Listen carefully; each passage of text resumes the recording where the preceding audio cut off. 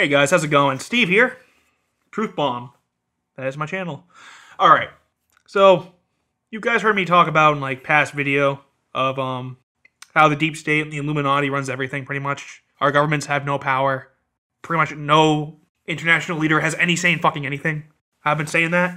People think I'm fucking nuts, but it's true. It's the truth. It's where common sense leads. So people ask, Steve, what about these like dictatorships that keep falling? You know, like they clearly have control. Well, one, any dictatorship that is still standing has no control because any dictatorship that tr- tries to get real control, like you know Saddam Hussein or Gaddafi, they get toppled. Look, look, what happened to Saddam when he actually tried to take legitimate control of his country? Fucking the Iraq War happened. They fucking hung him. What happened when Gaddafi tried to take control? They fucking killed him. And people are gonna be like, but Steve, Steve, buddy, what are you talking about? Remember when they had nukes and they agreed to give them up? Here, here's here's a fun fact here. Libya never had nukes. They never gave them up. It's all propaganda. It's all lies. Meant to brainwash us. That's it. That's all it is. What happened is he was a figurehead just like everybody else. And then, when he didn't fall in line, they concocted a story to cover up their deeds, and then they killed him. That's all it goes to us. That's all it is. And then you got Kim Jong Un and Assad right now. Actually, more, way more Kim Jong Un, Kim, Kim Jong Un than Assad, by the way. But um, right now he's starting to push the boundaries a little bit, being like, "I'm actually gonna rule my fucking country. My people are starving. They're oppressed. They're the um, they're the Illuminati's bitches pretty much right now." And he's starting to understand that if he doesn't take control, just this country's never gonna be repairable. It's never gonna make a comeback. So what he's doing, he's taking steps so that he can help his people, so that he can regain control over his country. It happened in Korea in the Korean War. A lot of people don't want to deny it.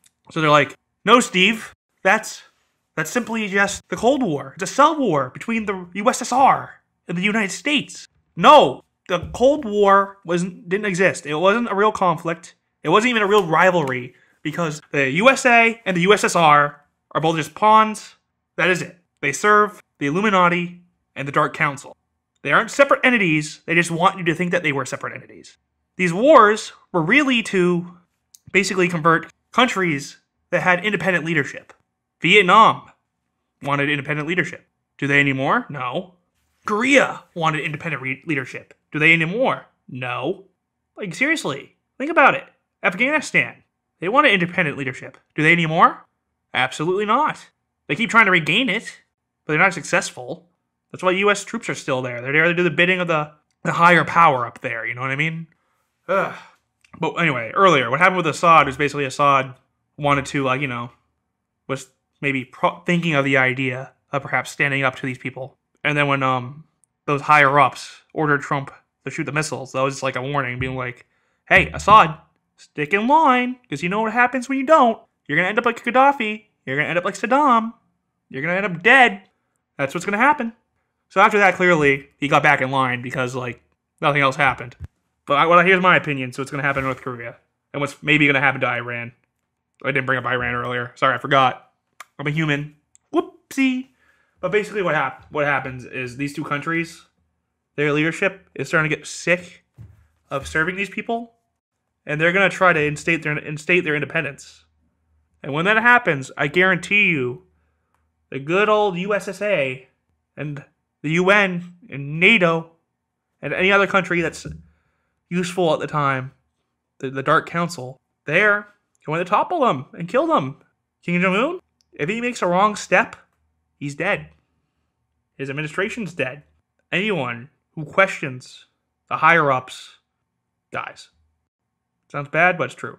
And that's how you know that these anti establishment types aren't really anti establishment. They're just there to continue the fake divide. Democrats, Republicans, they both work for the same fucking people, dude. Those third party, the Green Party, Libertarians, they're just there to fill their role too. You think Bernie Sanders is anti-establishment? No, he works for them too.